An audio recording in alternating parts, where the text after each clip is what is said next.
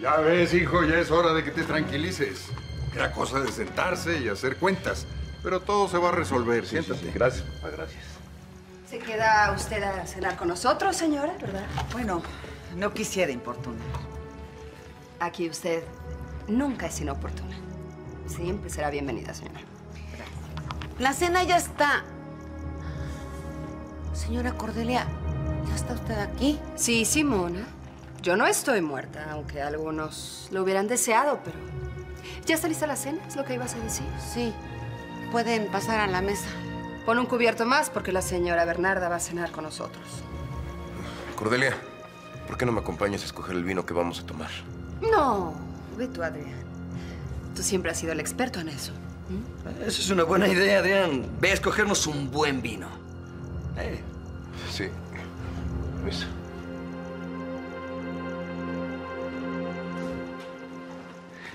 ¿Qué hace usted aquí, señora? ¿Por qué le invitaste a cenar? Ella nos va a ayudar. Ay, nos va a ayudar. Ah, Sí, y mucho más de lo que tú supones. Confía en mí. Álvaro, por favor. Está riquísimo. ¿Y Natalia? Se fue a dormir a casa de una amiga. ¿Tiene alguna novedad aquí en este pueblo donde pasan tantas cosas?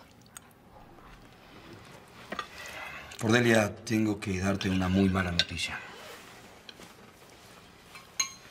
Tu, tu papá murió.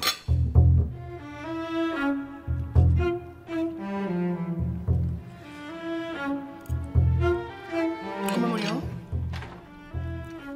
Hubo un incendio en la cabaña de Cuco y él estaba dentro. Cuánto lo siento, querida. Mi más sentido pésame. Gracias, señora. Bueno, ¿me cuentan cómo fue o, o lo adivino?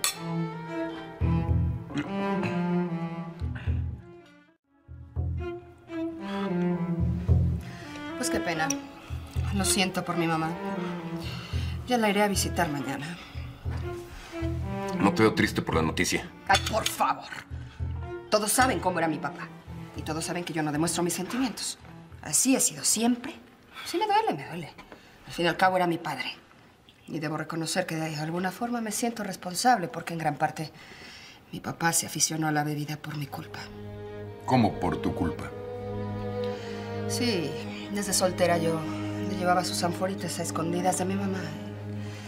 En ese entonces no me parecía grave, pero eso fue provocando su alcoholismo. Supongo.